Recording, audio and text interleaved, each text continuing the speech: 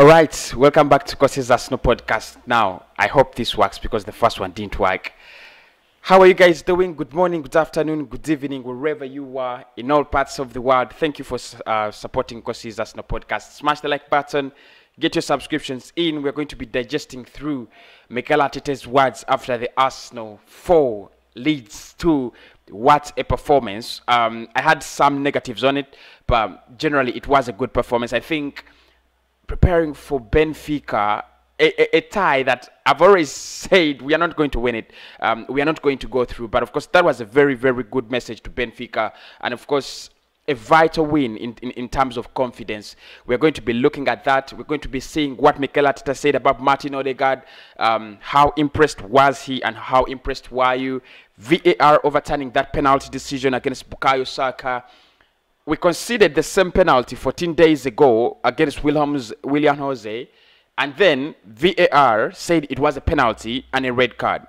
Yesterday, when we were playing Leeds, VAR said it wasn't a penalty no yellow card. You know, it's crazy, isn't it? And, and and so many people are actually going out there saying football is corrupt, VAR is corrupt, referees are, you know, are corrupt. But anyway, anyway, um, for me, I want to see what Mikel Arteta said about that. Um, but obviously, I want to get the injury update about Thomas Partey and Kieran Tierney. I'm just tired of Cedric playing in that left back because there are so many things we don't get as a team when actually uh, he plays as a left back. We don't get a lot of um, quality going forward. So smash like button and let us try to digest through Mikel Arteta's press conference yesterday at the Emirates Stadium.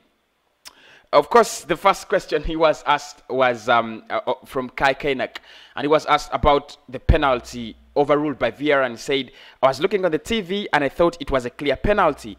Um, and considering the penalties uh, and considering the penalties we've been given against, I thought it's going to be a penalty, probably a red card because um, it's the same decision against us. Of course, this is in the Wolves game, like I said. And I said it didn't mean to be. Um, it didn't mean to be so. Um, I don't know. I think we have uh, we we have some clarification there, if possible. And, and the truth is, VAR is just spoiling football.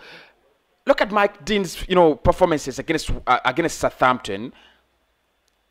That penalty overturned against Arsenal, and then a penalty given against uh, uh, uh, against Willian José.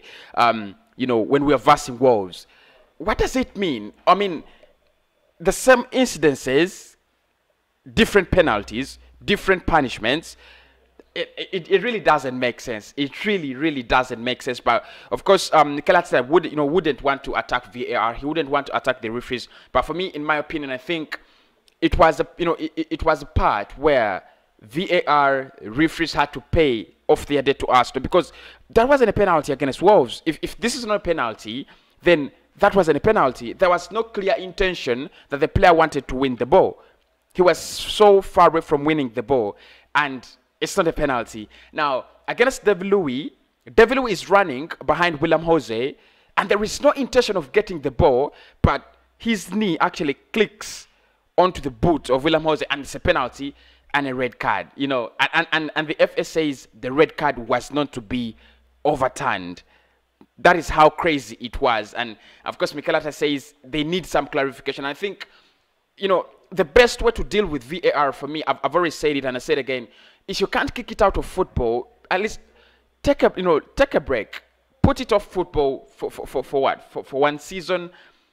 Make sure it is okay. It's either we should let the TV, eh, eh, the, the referee go to the TV often than having a fourth official in the VAR room because they're just making so many mistakes. They're just making, they're just frustrating football.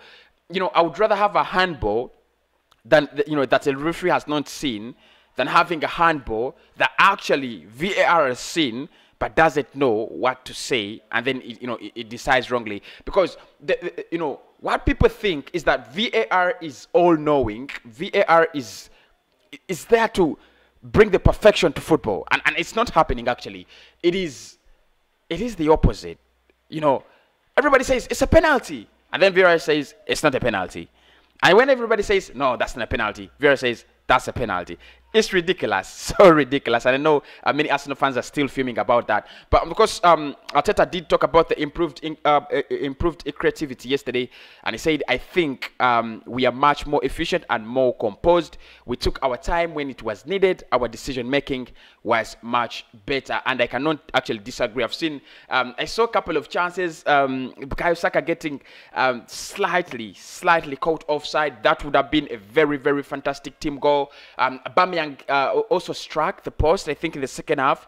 Um, of course, I know he was looking for that angle uh, where the goalkeeper absolutely had no chance, but of course, he was um, a bit unlucky. You know, he could have scored four um, against Leeds. Of course, he got his hat trick, and, and, and has been, uh, did speak about that as well. But I think, yeah, we have improved much when it comes to creating the opportunities. Now, what actually is happening is we cannot score the opportunities. You know, it, it's crazy.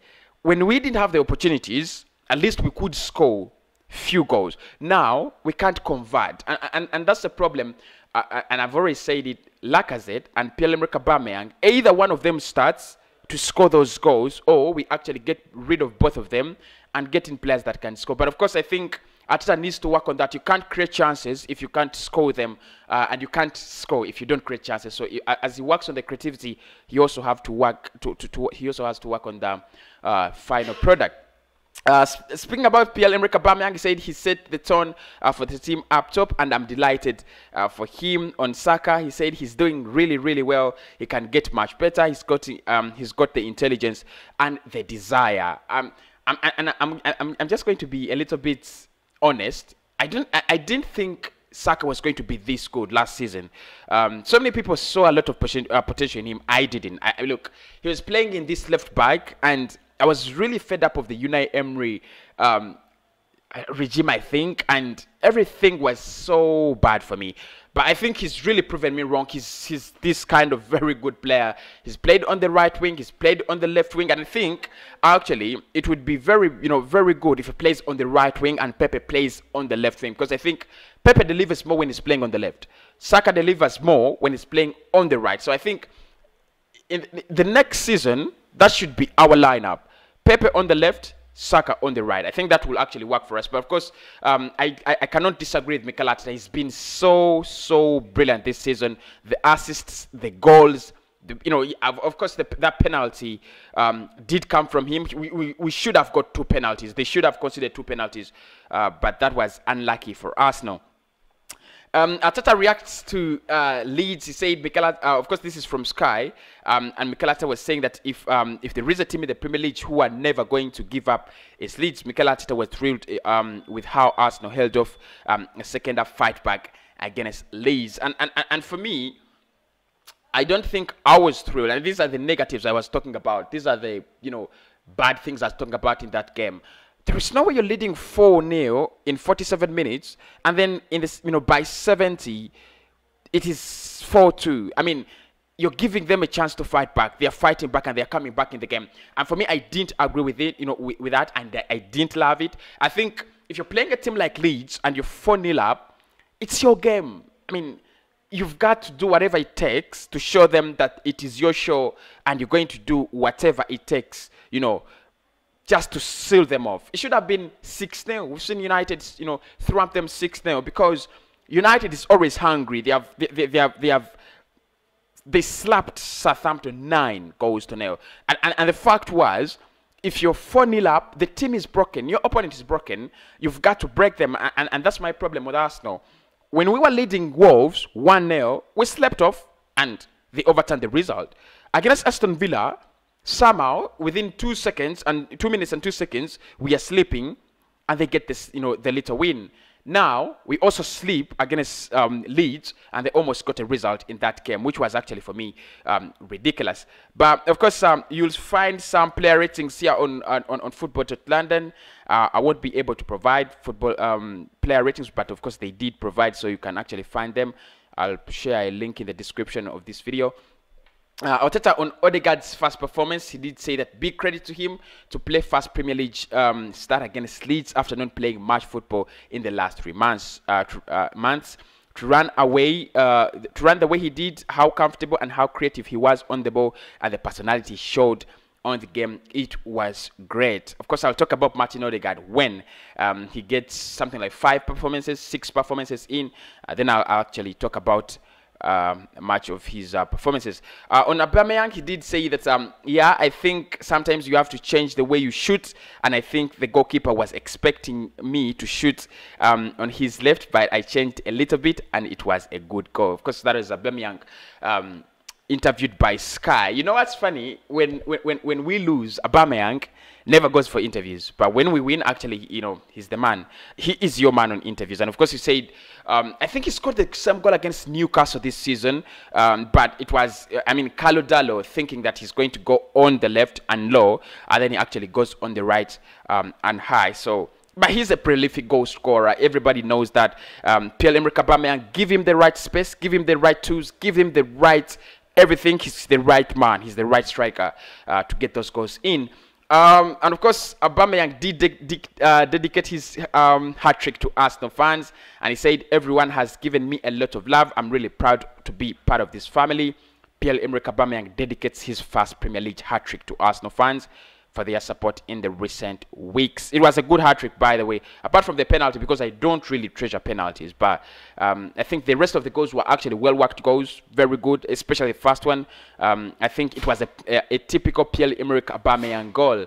Um, of course, Aubameyang speaking on his hat trick, he did say that um, Pierre Emerick. Um, uh, he did say that for sure. It means a lot to me. I'm a guy who always works hard and tries to give the best for my first, uh, for for my for, for, for first my family and team as well. It's been a tough time for me, but now it's time to get a smile back and win games and score goals. Yeah, I agree. I think, you know, when you're a striker and you have this kind of drought, everybody thinks you're finished, especially when you're in your 30s like Aubameyang.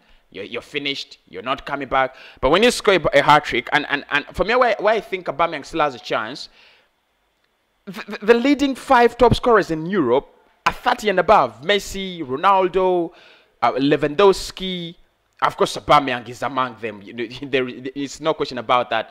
Um, behind Kun Aguero, for I think he's the, the second prolific goal scorer um, in the Premier League, then followed by Harry Kane. Or you can change the order um, like you want, but uh, Aubameyang is one of the three best goal scorers or goal poachers um, in the Premier League. So I think he still has a chance. He's not all uh, the way Arsenal play. He's not. You know, he's not going to get overworked. We don't you know, actually make him run so much. I think he's going to get that ball on his plate, and you know uh, he does his things. I, I don't think there's going to be anything um, to limit Pierre-Emerick Aubameyang from scoring goals at Arsenal. So that is um, Mikel Arteta's press conference. Um, he was speaking about so many things, and of course, Aubameyang asked about his form and uh, and his hat trick. We didn't get uh, um, uh, um, an update about Thomas Partey. We didn't get a, an update about Tierney. I was expecting that. But of course, like I said, at times journalists ask questions we do not want to hear and they leave questions we want to hear. But of course, uh, you know, I think we'll be talking to Mikel Arteta on Tuesday, tomorrow, um, ahead of the Benfica clash. So basically, that's when we, are going to know will Tierney play, will Partey be back. But I don't expect uh, Partey to be back, but I expect Kieran Tierney uh, to be back there. So what did you make of that performance against Leeds? It was for me um, a very, very, very energetic one. Very energetic one. Four goals to two. You know, it's it's it's it's a bounce back we didn't expect. Leeds is a very hard opponent. They are they, are the most hard-working team in the Premier League. They are they have a good manager. They have a good squad. They have a lot of cohesion between them. But you know the way we crushed them, the, the way we smashed them, it brings a lot of confidence and reliance in the squad. But the question is, do we draw on that win? Can we draw on that win? If we cannot draw on the Leeds, you know, on the Leeds win, then it doesn't mean anything. But if we can draw uh, on that win, of course, the games coming are not very easy. You have Benfica in Rome, and then you have Manchester City away from home. So um, they're going to be very, very hard games. City is absolutely on fire, um, especially if you name two names Phil Foden and, and, and Ike Gundogan, they are absolutely blazing, aren't they? Um, of course, they destroyed Tottenham Hotspur. They have, they have just destroyed Liverpool, and they expect to destroy us. We shall be very tired from Europa League football, but I know we stand a chance to beat Manchester City um, over the weekend. I'll talk about that in the match preview.